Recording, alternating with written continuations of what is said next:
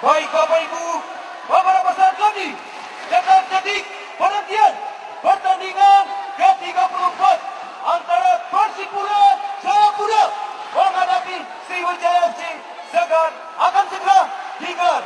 Mari kita beri aplaus yang meriah kepada Persipura Jayapura Sriwijaya FC.